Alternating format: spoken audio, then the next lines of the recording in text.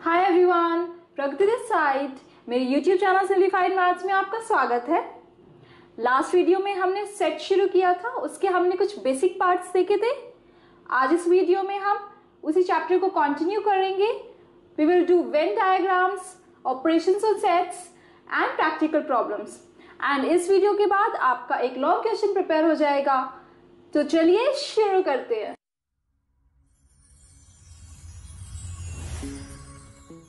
So let's start with Venn diagrams. What are Venn diagrams? Most of the relationships between sets can be represented by means of diagrams and those diagrams are known as Venn diagrams. Alright, so जो universal set है उसको अगर हम draw करेंगे it can be draw using rectangle और जो उसके subsets है उसको हम सर्कल से ड्रॉ करेंगे एग्ज़ाम्पल लेते हैं, अगर मैंने यूनिवर्सल सेट लिया है one two three four five elements है उसके, इसके जो सबसेट्स है ए सेट है, वो है two three and B is three five तो इसको हम कैसे रिप्रेजेंट करेंगे using Venn diagram universal set को मैंने रेक्टेंगल में लिया है this is U and set this is set A and this is set B now see set A में कौन से एलिमेंट्स है? Two and three and B में three and five means three दोनों में कॉमन है तो इसका कॉमन पार्ट ये है तो जो ये एलिमेंट थ्री होगा, दोनों के इंटरसेक्शन में होगा। And two in set A and five in set B clear now rest of the elements in this rectangle so one कहीं भी ले लो वन टू थ्री हो चुका है। नेक्स्ट फोर फाइव हमने लिख दिया। मीन्स इस पूरे यू में one two three four five elements आ गए। ए में हमारा आ गया टू एंड थ्री बी में हमारा आ गया three and five clear now see one more thing अगर इन ए और बी में कोई भी इंटरसेक्शन पॉइंट ना हो मीन्स यहाँ पे थ्री ना हो तो हम क्या करेंगे? This is U this is A this is B ठीक है इंटरसेक्शन नहीं है मीन्स ये दोनों डिसजॉइंट सेट्स हैं, कोई भी चीज़ कॉमन नहीं है. तो ए में क्या एलिमेंट्स है? टू एंड थ्री बी में क्या एलिमेंट है फाइव एंड यूनिवर्सल सेट में क्या एलिमेंट है one two three four five so one two three आ चुका है फोर फाइव आ चुका है clear in this way we can represent these sets using Venn diagram. So, now, operations on sets. So, first operation is union of sets. अगर हमारे पास A and B दो sets हैं तो उनका यूनियन क्या होगा? Set which contain which consist of और which contains all the all the elements of set A and B means वो सेट जिसमें ए और बी दोनों के सारे एलिमेंट्स आ जाए। फॉर एग्ज़ाम्पल एंड इसको डिनोट कैसे करते this is the symbol of union A union B अगर मैंने ए लिया है ए ई आई ओ यू बी लिया है यू जेड एक्स तो हम यूनियन कैसे लिखेंगे? A union B equals to all the elements of set A and all the elements of set B. A के सारे एलिमेंट्स लिख लो. A E I, O, U. B के सारे एलिमेंट्स लिख लो. U ऑलरेडी लिखा हुआ रिपीटिशन नहीं करेंगे. Z, X. क्लियर तो ये हमारा आ गया A यूनियन B. अब हम वेन डायग्राम में कैसे रिप्रेजेंट करेंगे A यूनियन B को? A यूनियन B मीन्स दोनों के सारे सारे एलिमेंट्स आ जाएँगे। अगर हमारे पास डिसजॉइंट सेट्स है मीन्स ए और बी में कोई कॉमन चीज़ नहीं है तो हम उन्हें ऐसे सेपरेटली ड्रॉ करेंगे। This is our universal set means हमें क्या फिल करना है? सारे एलिमेंट्स ए के एंड सारे एलिमेंट्स बी के फॉर ए यूनियन बी और राइट अगर हमारे पास डिसजॉइंट सेट नहीं है मीन्स कोई पॉइंट दोनों में कॉमन है तो हम उसे ऐसे रिप्रेजेंट करेंगे, इसमें कुछ कोई पॉइंट इंटरसेक्शन में आएगा। तो इसको कैसे फिल करेंगे? All the elements of set A and all the elements of set B so this is the Venn diagram representation of union of sets is properties of union of sets so first property क्या है? दो sets हैं A and B A union B equals to B union A होगा। जैसे हम addition में करते हैं समझने के लिए यूनियन को एडिशन ही ले लो। ए के सारे एलिमेंट्स और बी के सारे एलिमेंट्स लिख रहे हैं मीन्स दोनों सेट का क्या हो रहा है? एडिशन हो रहा है समझने के लिए। सो ए प्लस बी करो या बी प्लस ए करो आंसर सेम रहता है। So A union B equals to B union A this is your competitive law second A union B पहले करो, उसके बाद जो रिज़ल्ट आए यूनियन सी इक्वल्स टू पहले बी यूनियन सी करो, उसके बाद जो रिज़ल्ट आए, उसके साथ ए यूनियन कर दो। सो so, इसे हम कहते हैं associative law means A plus B plus C है आपके पास। तो उसमें चाहे पहले दोनों का एडिशन कर लो उसके बाद थर्ड के साथ करो या लास्ट टू का पहले कर लो उसके बाद फ़र्स्ट के साथ करो आंसर सेम रहता है। This is your associative law next A union five equals to A means five क्या है? ज़ीरो अगर एडिशन में हम बात करें ए प्लस ज़ीरो क्या होता है? वन प्लस ज़ीरो क्या होता है? वन सो so, फाइव क्या है? एम्प्टी सेट कोई एलिमेंट नहीं है तो उसके साथ उसका यूनियन करेंगे तो क्या आएगा? A law of identity A union A equals to A A का यूनियन ए के साथ ही करेंगे. फॉर एग्ज़ाम्पल अगर ए है one two so A union A करेंगे तो क्या होगा? वन टू फिर से वन टू रिपीटिशन का कोई फ़र्क नहीं पड़ता तो ये वन टू ही आ गया. That is A only so A union A is A it is known as idempotent law अब यू यहाँ पे यूनिवर्सल सेट है. Universal set union A equals to U universal set क्या होता है? वो सेट जिसमें सारे सेट्स कंटेन हो. सेट ऑफ़ ऑल सेट्स तो ए के सारे एलिमेंट्स यू में होंगे ही होंगे. So U union A is U law of U so second operation is intersection of sets अगर हमने कोई भी दो सेट्स लिए हैं ए एंड बी तो इंटरसेक्शन क्या होगा? Set of all elements which are common in both A and B A और बी में जो कॉमन एलिमेंट्स हैं, वो इंटरसेक्शन होगा और इंटरसेक्शन का सिंबल ये होता है। This is the symbol of intersection so A we write as A intersection B दोनों के common elements all right for example मैं वही एग्ज़ाम्पल ले लेती हूँ। A equals to A E I O U B equals to U Z X तो इन दोनों में कॉमन एलिमेंट क्या है? यू यू दोनों में है सो so, हमारा ए इंटरसेक्शन बी क्या हो जाएगा? ओनली द एलिमेंट यू अब हम वेन डायग्राम से देखते हैं। Intersection means common element A और बी में कॉमन पार्ट क्या है? This part so this is the intersection of A intersection B अब इसमें कोई भी कॉमन पार्ट नहीं है।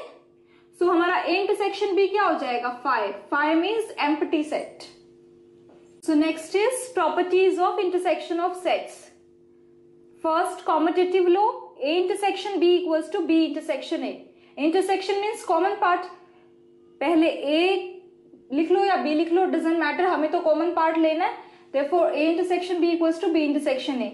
Second associative law पहले A intersection B कर लो उसके बाद उसके साथ C का इंटरसेक्शन कर लो या पहले B intersection C करो उसके बाद A के साथ इंटरसेक्शन करो हमें मतलब है कॉमन पार्ट से। इसका कोई इफ़ेक्ट नहीं आएगा। Third phi intersection A equals to phi phi और कोई भी सेट ए है, उसमें क्या कॉमन आएगा? फाइव तो एम्प्टी सेट है। एम्प्टी सेट में कोई एलिमेंट ही नहीं है। तो उसका इंटरसेक्शन करेंगे किसी के साथ भी तो फाइव देगा एम्प्टी सेट ही देगा। U intersection A equals to A U universal set है। यूनिवर्सल सेट में ए के सारे एलिमेंट्स हैं। तो दोनों में कॉमन क्या हो गया? ए के elements that is A next A intersection A equals to A A का ए के साथ ही इंटरसेक्शन करेंगे तो क्या आएगा? ए ही आएगा बिकॉज़ दोनों में कॉमन क्या है? ए के elements now this is distributive law section B union C equals to A intersection B union A intersection C तो डिस्ट्रीब्यूटिव लॉ डायग्राम से प्रूव करते हैं। A intersection B union C पहले हम क्या करते हैं? बोर्ड मास रूल के अकॉर्डिंग ब्रैकेट सॉल्व करेंगे B union C so B union C means B के सारे एलिमेंट्स प्लस सी के सारे एलिमेंट्स बी के सारे प्लस सी के सारे.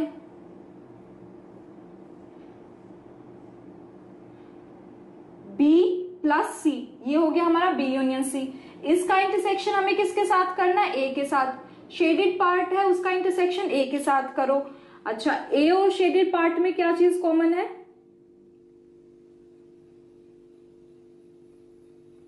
दिस पार्ट ये ए में भी है और बी यूनियन सी में भी है. So this is your final answer now अब उस साइड देखते हैं. देखिए A intersection B A intersection B क्या होगा?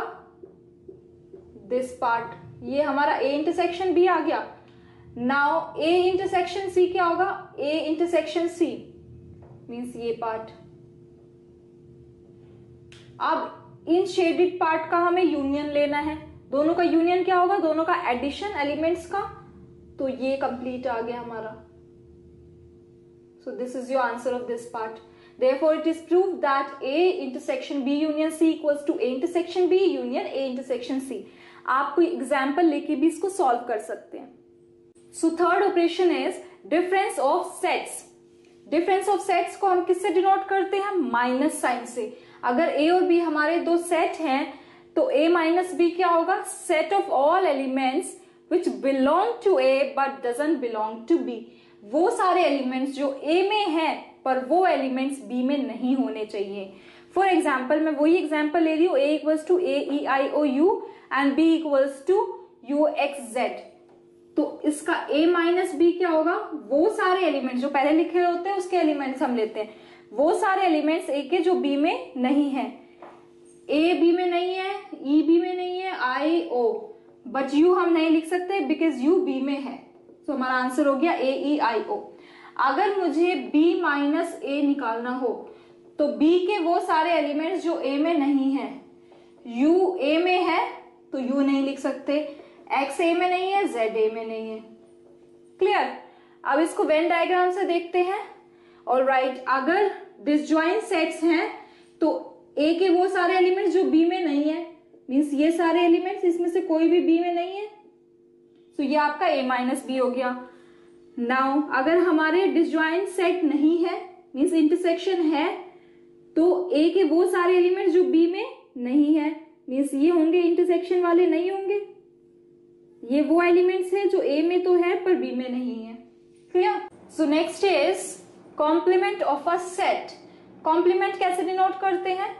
दिस मार्क ए का कॉम्प्लीमेंट निकालना है तो A and this mark clear let U be the universal set and A is the subset of U then the complement of A is the set of all the elements of U which are not the elements of A means U universal set है A you का subset है तो ए complement क्या होगा? वो सारे elements जो universal set में बिलोंग करते हैं, पर वो सेट ए में बिलोंग नहीं करते।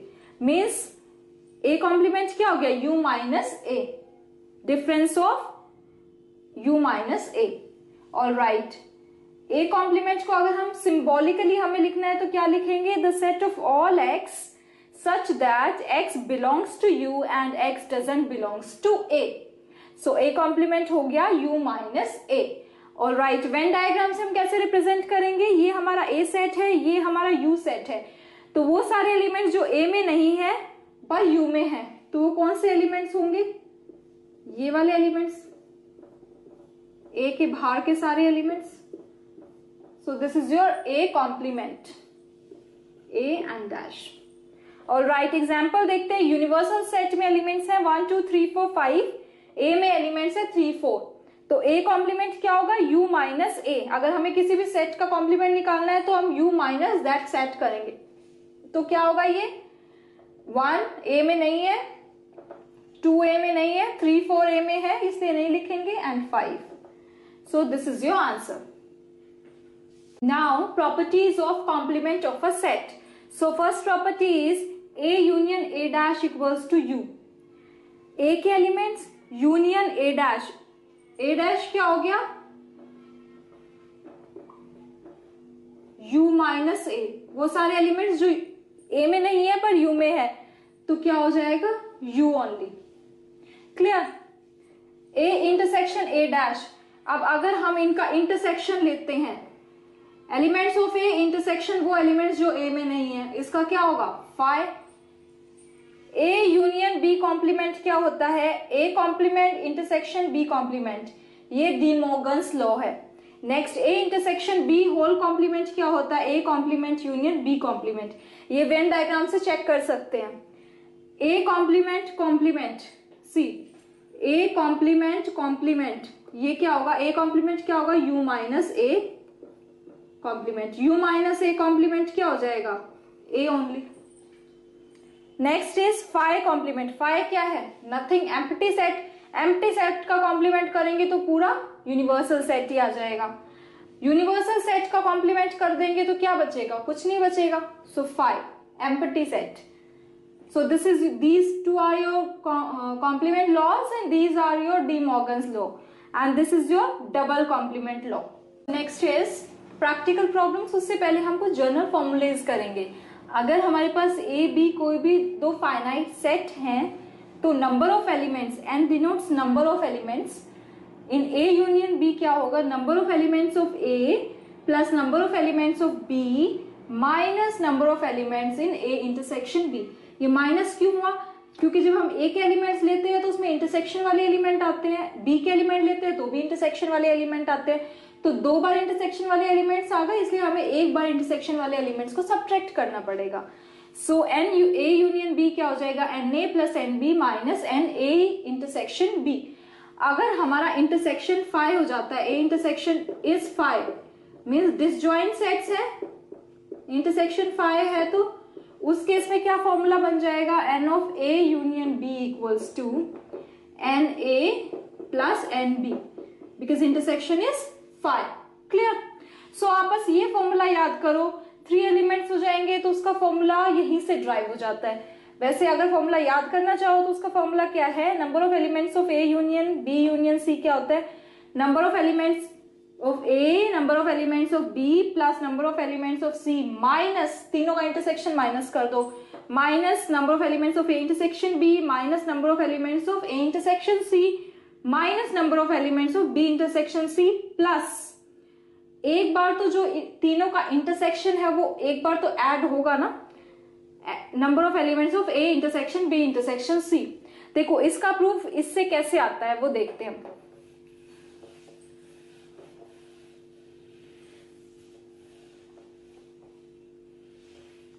Now see n A union B union C means मैंने क्या किया है?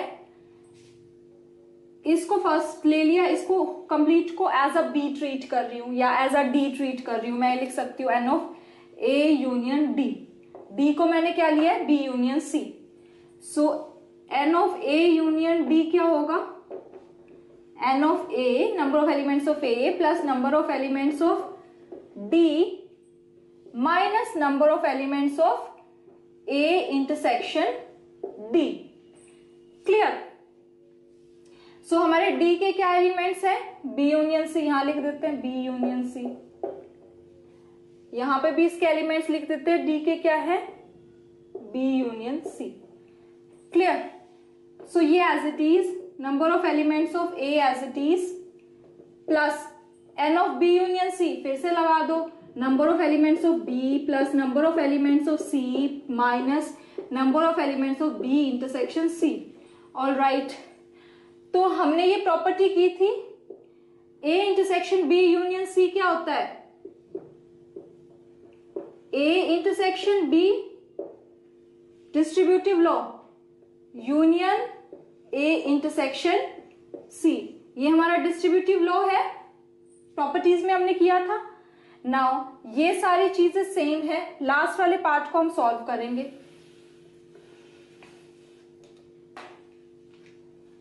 क्या है हमारा? माइनस बाद में लगा देंगे। N of A intersection B union A intersection C ठीक है? इसको as a A element treat करो इसको बी एलिमेंट ट्रीट करो। यूनियन ऑफ़ टू सेट्स क्या होता है? First set plus second set minus intersection n of A intersection B intersection A intersection C so ये क्या बन गया? N of A intersection B plus n of A intersection C minus n of आप देखो A intersection B intersection A intersection C ये क्या है? A intersection B intersection C only clear तो ये वैल्यूज़ उसमें सब्सटीट्यूट कर दो तो हमारा क्या बनेगा? N A plus n B plus n C minus n B intersection C अब यहाँ पे माइनस साइन है तो यहाँ क्या आएगा? N of A intersection B minus n plus minus n of A intersection C minus minus plus हो जाएँगे, plus n of A intersection B intersection C this is the proof so now will do some problems of exercise 1.6 so first problem is you have given two sets X and Y number of elements in X is 17 number of elements in Y 23 and number of elements in X union Y is 38 and you have to find their intersection. Clear? Directly formula use होगा n of X union Y क्या होता है number of elements of X plus number of elements of Y minus number of elements of X intersection Y so ये क्या given है thirty eight this is seventeen this is twenty three minus n of X intersection Y so X intersection Y क्या हो जाएगा हमारा? To simplify कर लो. Clear easy now will do third problem problem similar है.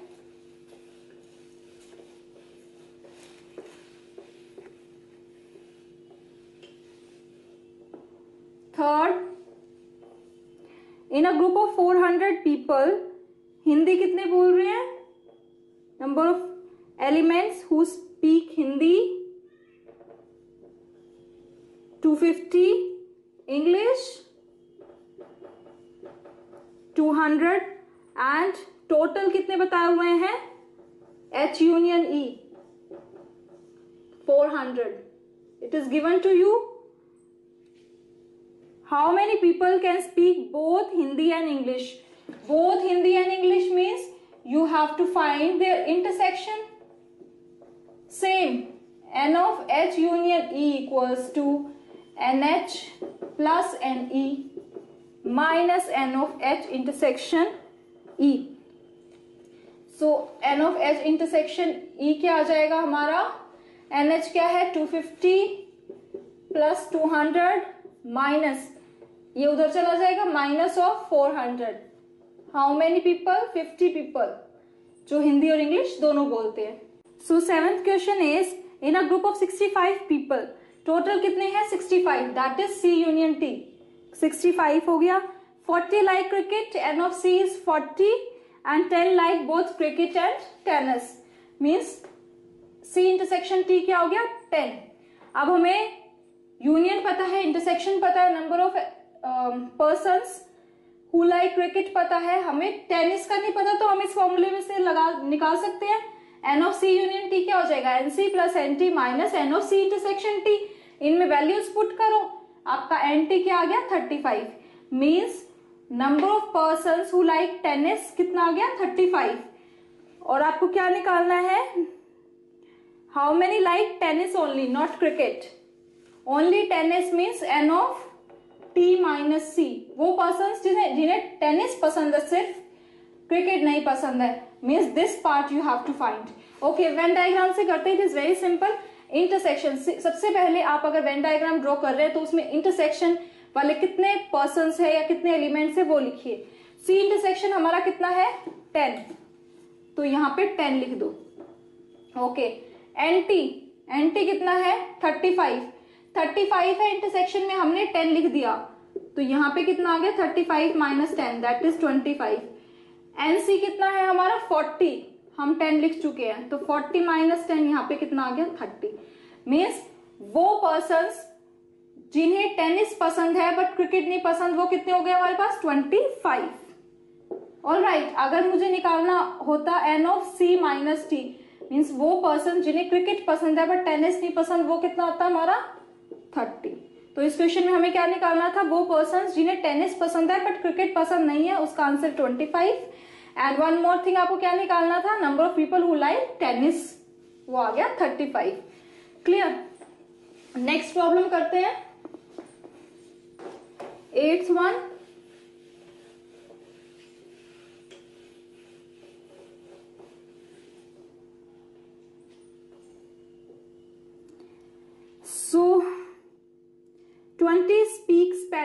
n of S कितना हो गया? Twenty.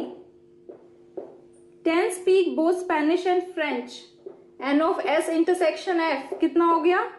Ten.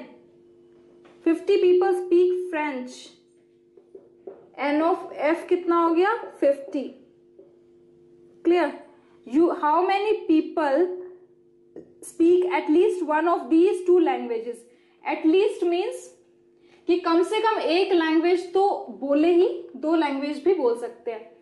ठीक है? चलो वेन डायग्राम बनाते हैं। Means you have to find union in that case जहाँ पे भी एटलीस्ट होता है उसका मतलब है एक या एक से ज़्यादा। एट मोस्ट मतलब मैक्सिमम जो आपको नंबर दिया गया उतना। उससे कम हो सकता है या मैक्सिमम उतना हो सकता है। क्लियर सो so, ये यूनिवर्सल सेट है।